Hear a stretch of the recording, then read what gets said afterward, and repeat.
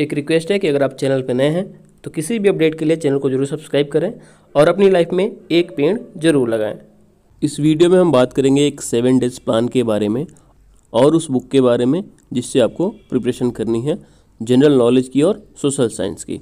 उससे पहले एक बार हम लोग एनालिसिस कर लेते हैं जो आपका पिछला एग्ज़ाम हुआ था, जो कैंसिल हो गया, उसके बारे में। तो चलिए फिर, पहले हम एनालिसिस करते हैं जनरल नॉलेज और सोशल साइंस की। तो जैसा कि आपको पता है कि जनरल नॉलेज में ट्वेंटी फाइव क्वेश्चन रहने वाले हैं और सोशल साइंस में ट्वेंटी फाइव जनरल नॉलेज से सोशल साइंस को अलग कर दिया गया है, ठीक है? जो प्रश्न पूछे गए थे, उसमें से मैंने कुछ चुनिंदा प्रश्नों को यहाँ पे लिया हुआ है। जैसे कि president of India comes under which article यानी कि प्रेसिडेंट से रिलेटेड जितने भी आर्टिकल्स हैं, उसको आपको एक बार देख लेना है। मानस नेशनल पार्क के बारे में पूछा गया था, बैनरघाटा नेशनल पार्क के बारे में पूछा गया था और एस सी आर्टिकल के बारे में। एक क्वेश्चन जो था आपका वो आर्टिकल ट्वेंटी वन से था। फिक्की का फुल फॉर्म पूछा गया था और आईसीएआर जिसका आप लोग एग्ज़ाम दे रहे हो, इसके इस्टेब्लिशमेंट के बारे में भी पूछा गया था। ये जो एक प्रश्न है, ये साइंस का है। और एक क्वेश्चन जो था, पूछा गया था forty one article forty one से और सीजीआई ऑफ़ इंडिया के बारे में भी पूछा गया था। घूमर डांस किस स्टेट से बिलोंग करता है, इसके बारे में पूछा गया था। कैपिटल ऑफ़ भूटान पूछा गया था। कलबेलिया डांस किस स्टेट से बिलोंग करता है इसके बारे में पूछा गया था कैक के बारे में पूछा गया था। और आर्टिकल से रिलेटेड एक या दो प्रश्न आपको हर एक शिफ्ट में देखने को मिले थे और इस बार भी मिलेंगे। आर्टिकल 55, आर्टिकल 280 और आर्टिकल 32 के बारे में पूछा गया था। अब हम लोग देखते हैं साइंस के वो प्रश्न जो पूछे गए थे पिछली बार के एग्ज़ाम में जो कैंसिल हो गया था। इसमें आपका पूछा गया था एमआरआई का फुल फॉर्म और गोइटर डिसीज़ के बारे में पूछा गया था। उसके बाद pH value of blood, other name of methane chemical name of vitamin D full form of palm एक प्रश्न आपका फोटोकेमिकल स्मॉक से था, दूसरा आपका वाइटल फोर्स थ्योरी से था। एक प्रश्न जो था वो आपका वोमन कैप्सूल से था। इसके बाद लाफिंग गैस से था एम्फीबियन से था एलपीजी के बारे में पूछा गया था और आपका शोल्डर के बारे में। इसके बाद गोइटर इज़ कॉज्ड बाय यानी कि घेंगा रोग किसकी वजह से होता है। और chemical formula of urea. Chemical formula of gypsum या केमिकल फार्मूला ऑफ़ प्लास्टर और पेरिस, ये भी कॉमन है, जो हमेशा प्रश्न पूछा जाता है। PH value of human blood, ये दो बार पूछा गया था। और पार्किंसोन डिज़ीज़। पार्किंसोन डिज़ीज़ के बारे में पूछा गया था।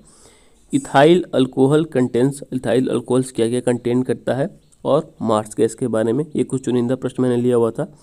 अब जनरल नॉलेज की बात करें तो इससे ट्वेंटी फाइव प्रश्न रहने वाले हैं और सोशल साइंस से भी ट्वेंटी फाइव प्रश्न रहने वाले हैं, ठीक है? ये जो सारे प्रश्न हैं ना, ये आपको ल्यूसेंट में नाइन्टी एट परसेंट मिल जाएँगे। तो फिफ्टी मार्क्स का जो आपका प्रिपरेशन है, वो आपका ल्यूसेंट से आराम से इजीली हो सकता है, ठीक है? तो मैं ल्यूसेंट के बारे में ही बात करने वाला था कि ल्यूसेंट को आप लोग रेगुलर कम से कम एक से दो घंटे उसको पढ़ा करो। उसको दो से चार बार पढ़ने के बाद ही आपको सारी चीज़ें क्लियर होंगी और आपके माइंड में वो चीज़ें याद रहेंगी। एक बार पढ़ लेने से कुछ नहीं होने वाला है। आपके पास अभी भी सेवन डेज़ पढ़े हुए हैं।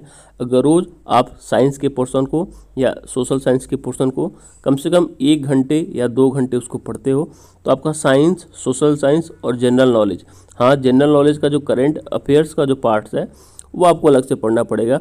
बाकी साइंस, सोशल साइंस और जनरल नॉलेज के कुछ अदर पार्ट्स जो हैं, वो आप इसे कवर कर सकते हो। यानी कि सिक्सटी मार्क्स आप यहाँ से गेन कर सकते हो केवल लुसेंट को पढ़ के।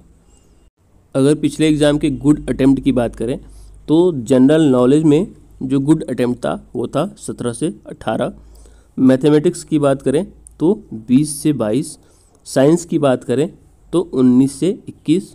और सोशल साइंस की बात करें तो पंद्रह से सत्रह, यानी कि ओवरऑल अगर देखें हम तो seventy one to seventy eight आपका गुड अटैम्प्ट रहा था। और यही गुड अटैम्प्ट इस बार भी रहने वाला है, कुछ ज़्यादा चेंजेस आपको देखने को नहीं मिलेगा। हाँ यही है कि जो आपका करेंट अफेयर्स का जो सेक्शन है, ये आपको फिर से प्रिपेयर करना पड़ेगा। और 2022 और अभी 2023 में जून, ये पूरे डेढ़ साल का करेंट अफेयर्स आपको पढ़ के जाना होगा। अब हम बात करते हैं कि सात दिनों तक आपको करना क्या है। तो सबसे पहले, सुबह उठते ही पहले एक से दो घंटे आपको केवल ल्यूसेंट पढ़ना है। आप जिस सेक्शन को पढ़ो, ठीक है, एक घंटे आप देख सकते हो, एक घंटे आप दे सकते हो साइंस को और एक घंटे दे सकते हो आप G K G S plus social science. Lucent में तो ये दोनों एक ही में है तो एक घंटे आप इसको दे सकते हो। और ये सेवन डेज़ तक ये चलने वाला है। फुल पेज लूसेंट का जो फुल पेज साइंस का जितने भी पेज हैं, सारे पढ़ने हैं, एक घंटे में या दो घंटे में। अगर चार घंटे भी लग जाए तो कोई दिक्कत नहीं है। और वैसे ही जीके और सोशल साइंस को भी एक से दो घंटे आपको रिपीटेड पढ़ना है, कम से कम पाँच या छः दिन, जब तक आपका एग्ज़ाम नहीं हो जाता है। और मैथमेटिक्स के बारे में बात करें तो शाम को छः बजे से रात को आप जितने बजे तक प्रैक्टिस कर सकते हो, आप उसका प्रैक्टिस करो। अगर मॉक टेस्ट दे रहे हो फिजिकली कोई बुक लिए हो, उसका मॉक टेस्ट दे रहे हो तो वो कोशिश करो कि आप 11 से, दिन में 11 से 2 बजे तक या 3 बजे तक आप जितना मॉक टेस्ट दे सकते हो, अपना मॉक टेस्ट दो।